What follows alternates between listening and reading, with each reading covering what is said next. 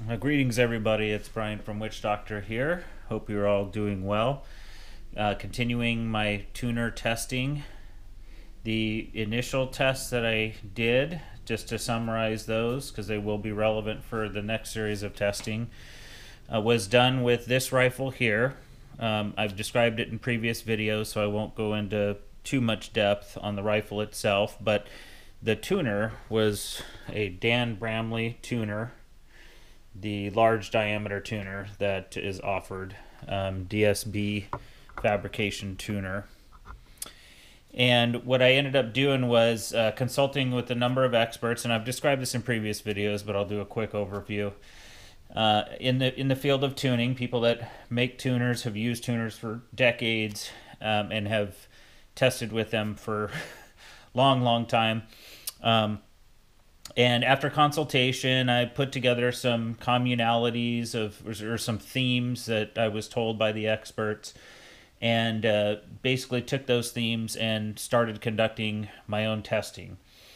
And what I found with with this rifle here, using the Dan Bramley tuner, was a particular method that seems to work really well uh, in terms of um, getting the tuner to where you could adjust it to regain tune if your tune falls off. If your groups start growing or your scores start going down because you're missing the 10 ring, whatever it may be, um, how to regain that tune. And I was able to, to actually uh, do the testing in order to find out how to regain tune and in actually particular tuner settings based on certain atmospherics.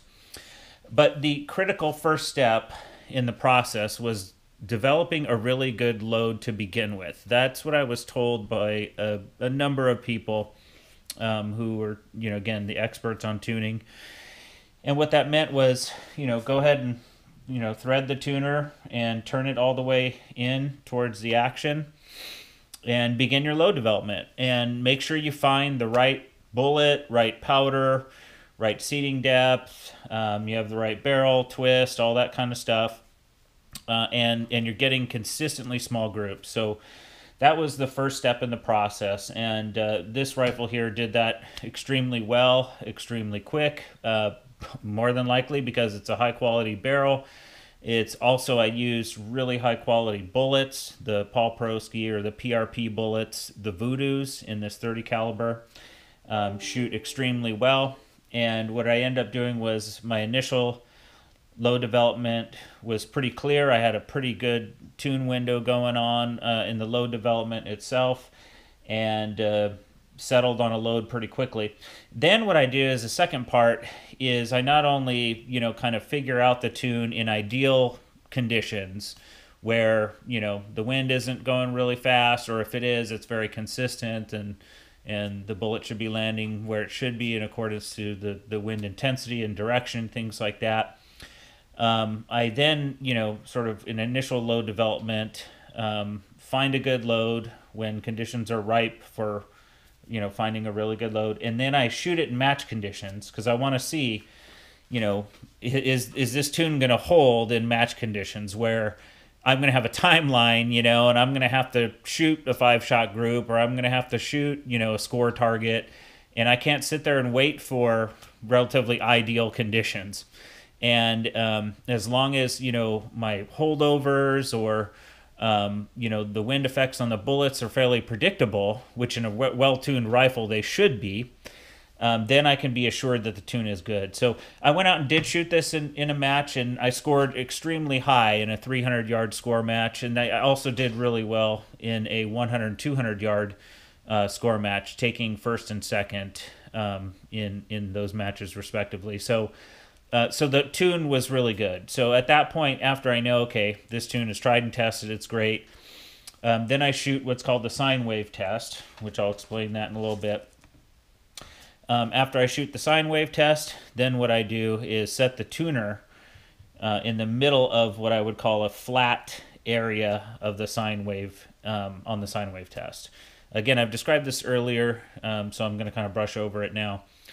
Uh, and then um, from there, shoot the rifle and shoot some groups or scores or what score matches, whatever it may be, in different atmospheric conditions. And it just so happened that with the testing with this rifle, I was able to get one particular atmospheric condition change that I was able to test at. Um, and that was with differences in barometric pressure. I was not able to test it in different temperatures or humidities. Both of the testing sessions that I did were in 38 degrees and 42 degrees Fahrenheit temperature, and we're, we're also in 85 and 87% humidity. So those variables were pretty much the same. They were what I call constants. They're not something that varied much, but barometric pressure did. I shot uh, several five shot groups in high barometric pressure conditions, um, 30.05, and also low barometric pressure conditions, 29.44. And consistent with some data that I've already accrued on atmospheric conditions that show that where I live in the Pacific Northwest, uh, Washington, United States, um, barometric pressures that get below 29.8, 29.7 or lower in that range um, tend to have the tune fall off when you've tuned in conditions where it's 29.8 or above in barometric pressure. So that finding I've already found in testing I did years ago, um, continuous testing for, I think I did that test for over a year. So um, anyway, um, when I shot in the high barometric pressure condition, that's when I did um, really good. Um, you know, like I mentioned, I had really good load. It was kind of set for high barometric pressure conditions. Um, and then um, I went and I shot in low barometric conditions. So it just so happened that there was a storm that rolled in, you know, a few days later, and the barometric pressure was extremely low for out here.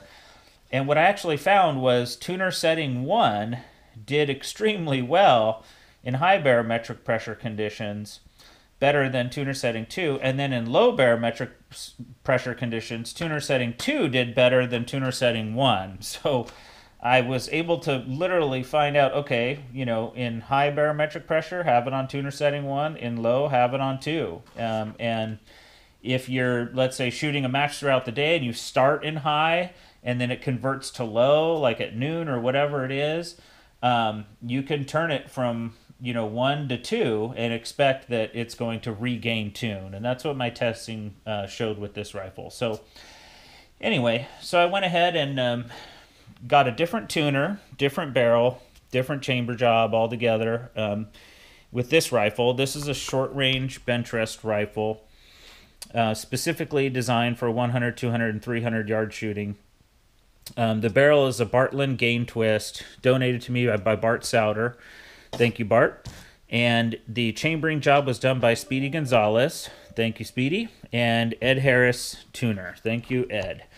Um, I have it topped with a March um, High Master scope, which has it's a fixed 48 power scope, which has the LR reticle, the Lou Murdica reticle, which is a raised reticle. A raised reticle enables me to um, have the aim point sort of high up on the scope, and then the bottom three quarters of the scope, I'm able to see wind flags. Um, and in the last match I shot with this thing, I was able to see four wind flags out of the scope, which is a lot. Uh, a typical standard scope, I might only be able to see one, but with this raised reticle, I was able to see four. Um, a Bat Nouveau action, a bat stock, and a Flavio trigger that was set to less than an ounce. Um, so that's this rifle. And uh, the testing that I did, I'll describe here in a sec. Okay, really quickly, I'm going to describe the differences in these two tuners. This tuner here, as you can see, is really flush with the crown. Uh, and it's screwed on, and there's a rubber O-ring inside of it that grips the barrel and holds it in place. So you got to turn pretty hard to get this thing to turn. It, it stays locked in place really good with that rubber O-ring. It also has some, numbers on it to sort of help you index what numbers you know you're looking at with a tuner. And I put a little mark there on the barrel to help me know where the setting is. In contrast, this Harris tuner is different. Um, it is not flush with the crown. The crown's kind of way in there. Um, it has a, you have to bolt it on. So you have to tighten these screws to clamp it on, loosen them to turn it. It also has rubber, so rubber on metal. Um, and so it is a bit of a different uh, tuner. There's no numbers on this one, but it was super easy for me to just go ahead and make markings. The recommendation for this tuner is that you turn it in eighths. So I made markings one, two, three, four, five, six, seven, eight. So when I turn the tuner, I, I know what number I'm at uh, with when I'm tuning. Okay, so I followed the same sequence to test the tuner as I did with this Bramley tuner on this rifle. I did initial load development and um, used these Joker bullets. Again, these are PRP bullets, high quality benchrest bullets. I've used these before. These bullets are the ones that are on the short jacket, the 790 jackets. Um, there's others that are made on like 825 jackets, but I chose these because I knew they, they tend to do really well in the gain twists, uh, Bartlein gain twist rifles. And um, I also knew that I can set the bullet at 2000s off the lands and it probably should do really well. And it ended up uh, in initial load development doing really well. My initial load was 30.1 of N133 uh, for my 100 yard load, and then for my 200 yard load was 29.9 of N133. Um, both of those uh, uh, had the bullet seated 2000s off the lands. What I find is that once seating is set in its sweet spot, it's pretty much good to go at any yardage. And uh, you can pretty much use that seating depth um, um, continuously, and it usually works pretty good. Sometimes, as the lands wear out, you have to sort of seed it out a little bit more and more um, as time goes on to compensate for that. But um, typically around 2000s is a great start. And went ahead and did initial load development. Again, found my 100 yard and 200 yard load. And again, I do load development in fairly ideal conditions. I have flags out in the field. I make sure I have a little bit of time to do it. So I, I wait for lulls and conditions. I'm able to sort of cherry pick a little bit, you know. And um, so what I decided to do, again, consistent with my method with the Bramley tuner rifle is I took this rifle to a match and I wanted to test it in match conditions where, you know, I, I have time limited. Um, I have to get off all my shots. I have to, you, you know, use good judgment about wind and, and, and all that kind of stuff. Possibly do holdovers, um, you know, in all kinds of different techniques. Um, and I did shoot it in a match that had significant wind switches um, had very variable intensity of wind uh, direction and intensity. And so it was definitely a challenging match in terms of wind conditions. Once in a while, there was a lull, and we were able, you know, a lot of shooters were able to get out five rounds in, in consistent or fairly ideal conditions, but that was pretty rare. Anyway, um, the rifle shot really good, and I ended up taking first place in that match. Uh, to show you as an example, this is a 200 yard target. Uh, again, my my load for 100 and 200 was different.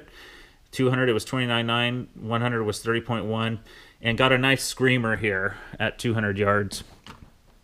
Um, at 100 yards, on the last day, I wasn't doing as well as I knew I could, and so I did change the load. I went from 30.1 down to 30 and my group shrank considerably at that point. So I knew that that was a good uh, powder adjustment. I knew it wasn't going to need much of an adjustment, and uh, because it was already you know shooting pretty good, but I knew that it wasn't shooting optimally, so I made a slight adjustment. So now I know at 100 yards, 30 grains is, is the best, and 29.9 is the best at 200. Um, so anyway, with that established now, now that I've established that I, I have a really good tune, I go out and I shoot my sine wave test, which tells me where I should clamp down this tuner. And shooting that, I had tuner setting five and a half, four, three, two, one, eight, seven, six, five, four. So I was turning it out one eighth uh, of a turn and firing um, three shot groups in each of those. And what I ended up finding was very consistent with the Bramley tuner actually is that sine wave. You know, it started off sort of, you know, near the top of the target dot that I was aiming at, and the wave went up above the target dot, and then it dipped down onto the target dot where it leveled out here, hitting the target dot. Um, and then it went to the left of the target dot, and then it went left up, up, up. So you can see how the sine wave started going up, up, up, and then it went down and leveled out, and then started going up a little bit, and it was back on an upswing there. Um, what that told me is that tuner setting 2, 1, and 8 seemed to be what I call the flat spot in the sine wave. And my method that I used with the Bramley tuner was to set my tuner in the middle of that uh, flat spot in the sine wave. So that's what I ended up doing. It's set now at setting 1, and that's going to be sort of my benchmark now. And uh, I shot this in 46 degrees, rain, 87% humidity, and 30.05 barometric pressure. So this load now in this setting is set for high barometric pressure. So my current plan now is to go out and shoot several five shot groups in you know high barometric pressure settings, low barometric pressure settings, um, high temperature, low temperature, high humidity, low humidity, and I'm going to be studying just how this tuner can potentially, and we'll see if it does, help regain tune in various uh, types of atmospheric conditions. Uh, the Bramley tuner was able to demonstrate that uh, with barometric pressure. Um, but again, that testing that I've done thus far with this one um, has been sort of truncated to only testing barometric pressure. I will be shooting this one, like this one, in higher temperatures um, and lower humidities to see how temperature and humidity can also um, impact tune and whether the tuners can regain tune under different, uh, multiple different atmospheric variables and uh, see what we get.